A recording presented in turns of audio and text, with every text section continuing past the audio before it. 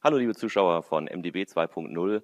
Ich zeige Ihnen heute meinen typischen Alltag in Berlin und im Wahlkreis und ich nehme Sie mit zu Terminen und Veranstaltungen, sowohl hier als auch in Rheinhessen. In meinem Alltag als Bundestagsabgeordneter pendle ich zwischen Berlin und meinem Wahlkreis in Rheinhessen hin und her. Aber egal wo ich bin, mein Tag beginnt meistens ziemlich früh. Aber ich versuche mir Zeit für meine Familie zu nehmen und mit ihnen zu frühstücken, auch wenn wir nicht am gleichen Tisch sitzen. In Berlin fängt der Arbeitstag meist mit viel Papierkram an. Zum Glück unterstützen mich meine Mitarbeiter, indem sie Dinge vorsortieren, recherchieren und für mich übernehmen und meine Termine im Blick behalten. Auch wenn ich zu Hause in Haagsheim bin, klingelt der Wecker rechtzeitig. Meine Frau und ich sind beide berufstätig und wir haben zusammen drei Kinder. Da geht es nur, wenn man sich die Arbeit teilt. Der eine macht die Kinder startklar und der andere das Frühstück. Die Belange junger Menschen sind mir sehr wichtig. Deshalb versuche ich auch hier in Berlin mit Schülergruppen aus meinem Wahlkreis über Politik zu reden, sie dafür zu begeistern und zu zeigen, wie meine Arbeit als Abgeordneter funktioniert.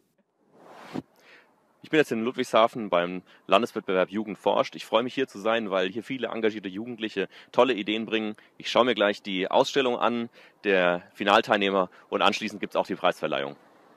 Die Jugendlichen entwickelten dabei ganz unterschiedliche Projekte wie zum Beispiel einen Kunststoff zur Versiegelung von Straßen, so soll künftig Schlaglöchern vorgebeugt werden. Ein weiteres Projekt nahm sich die Raffinessen der Natur zum Vorbild und versuchte diese nachzubauen. Manchmal komme ich in Berlin sogar dazu, richtig Mittag zu essen. Trotzdem ist es meist auch ein Arbeitsessen, wie zum Beispiel heute. Wir treffen uns in der Landesgruppe der FDP-Abgeordneten und besprechen wichtige Fragen, die Rheinland-Pfalz betreffen. Ich bin Mitglied des Mainzer Weinsenats und damit auch Botschafter der rheinhessischen Weinkultur. Hier treffen wir uns zum jährlichen Rebschnitt in unserem eigenen Weinberg in Mainz und besprechen viele Dinge, beispielsweise wie wir die Weinkultur Rheinhessens weiter erhalten und fördern können. Ich bin Mitglied des Rechtsausschusses und hier bei der Anhörung zum E-Justice-Gesetz. In so einer parlamentarischen Anhörung wie dieser geben uns Experten wertvolle Hinweise, wie wir unser Gesetz noch besser machen können. Die Ergebnisse aus Fachgesprächen werden dann ins Plenum eingebracht.